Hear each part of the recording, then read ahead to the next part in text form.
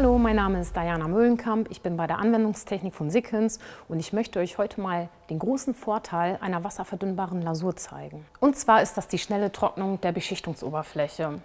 Was zum einen negativ besetzt ist, ist hier ein deutlicher Vorteil. Wir können das Bauteil wieder schnell nutzen und wir haben bei ungünstigen Wettersituationen eine sehr, sehr hohe Sicherheit. Und das möchte ich euch jetzt gerne in einem Video zeigen. Ich habe jetzt eine Profilholzfläche fertig gestrichen beende meine Arbeit und wir warten eine Stunde ab und dann kommt der Regentest.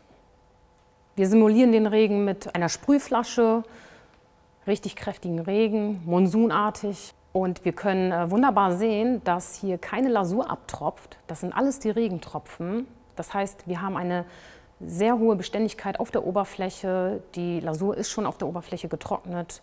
Die Oberfläche weist keine Milchigkeit auf und wir haben auch keine Pigmentauswaschung. Ja, ihr habt es gerade selber gesehen. Wir sind bereits nach einer Stunde regenfest. Wir haben noch so viel Wasser auf die Oberfläche drauf gemacht und ähm, kein Abtropfen der Lasur.